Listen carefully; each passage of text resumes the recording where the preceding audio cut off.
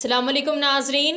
नीरज पनवार के केस के ताल्लुक से हैदराबाद सीपी सीवी आनंद ने की नीरज पनवार के घर वालों से मुलाकात और तयन दिया कि सही तरीके से इंक्वायरी करते हुए मुलजमीन को सज़ा देंगे और मुलजिमीन को कर्नाटक से पकड़ा गया है। और मीडिया से बात करते हुए बताया कि अपने नौजवान बच्चों पर वो क्या करते हैं नज़र रखें। आइए नाजरीन, देखें इसकी तफसीली रिपोर्ट। हमारे चैनल को लाइक करें, शेयर करें और सब्सक्राइब करना ना भूलें।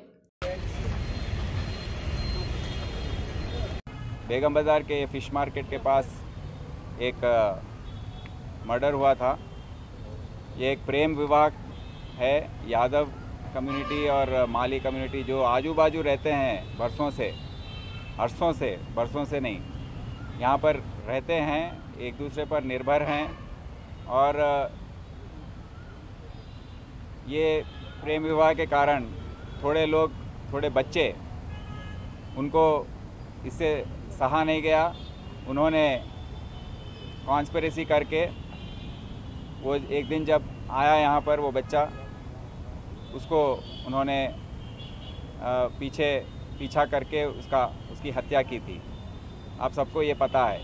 उसके बाद हमारे पुलिस टीम्स, वही रात टास्क फोर्स के टीम्स, वेस्ट जोन पुलिस के टीम्स बहुत मेहनत करके जो भी इसमें अक्यूज़ थे, उनको चेज़ करके कर्नाटका स्टेट में भागे हुए थे, उनको पकड़ कर लेकर आए हैं।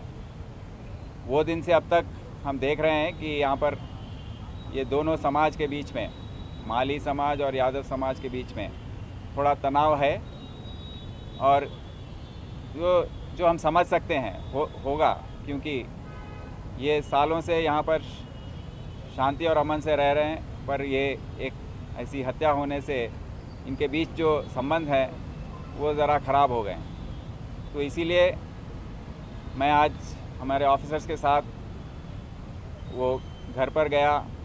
वो जो जिसके घर में हत्या हुई थी उनको समझाया हूँ उनसे बात किया हूँ उनसे आ, वो उनको कॉन्फिडेंस देने के लिए हम गए थे।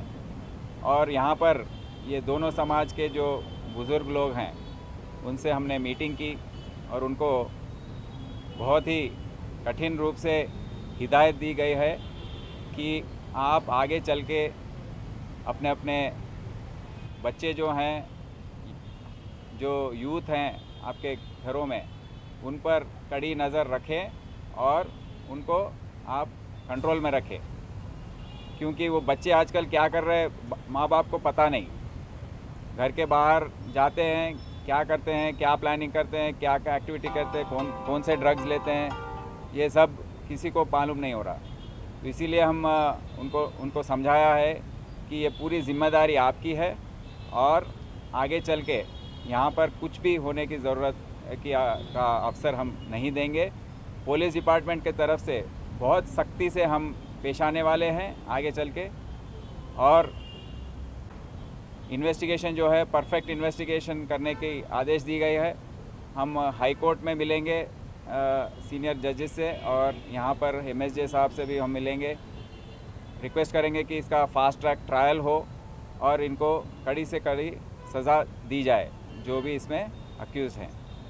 यहाँ पर जो अरे गहरे बच्चे हैं, आवारे जैसा घूमते रहते हैं, उन पर आज आज से कड़ी नज़र रहेगी।